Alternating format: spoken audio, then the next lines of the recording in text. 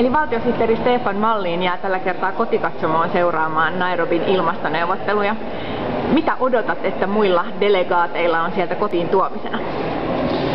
Kyllä täytyy aina lähteä siitä, että kun kansainvälisillä areenoilla puhutaan ilmastopolitiikasta, niin eh, ei se puhumalla parane se, se nykytilanne, vaan, vaan riippumatta siitä, onko pahan ilman lintuja liikenteessä, jotka tuomitsevat jo etu, etukäteen näitä kokouksia, että niistä ei mitään tule ulos, niin täytyy aina lähteä siitä, että jokainen tällä tasolla pidettävä kokous on askel eteenpäin ja se askel eteenpäin, niin se, se johtaa kohti vieläkin sitovampaa ilmastopolitiikkaa, joka sitoo mahdollisimman monia maita, toivottavasti pian kaikkia maita.